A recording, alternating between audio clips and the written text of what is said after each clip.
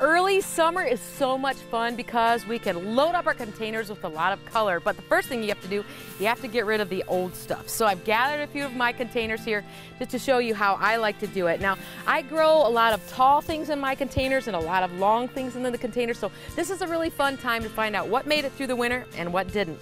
This was an annual grass and you just pull it out of the middle. It's got a nice big root ball, but it won't live again this year. It was only supposed to live for one season, so that's going to go into the compost pile.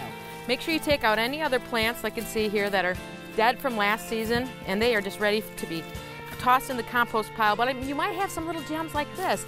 This is hen and chick. See how well they did over the winter? We can use those again. I'm gonna keep cleaning that out. And you're going to see I have nice soil still left in here in this container. Now in the middle of this container, I have all kinds of good light potting soil. I'm going to mix that around a little bit, take out some more of these grasses. Now let's take a look at this one. I still have some ivy that made it over the winter. That's nice. I'm gonna pull out some more of these other plants.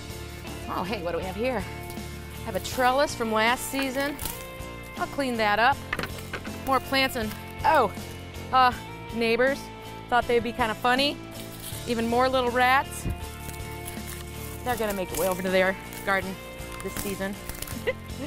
all right, take out all the dead branches.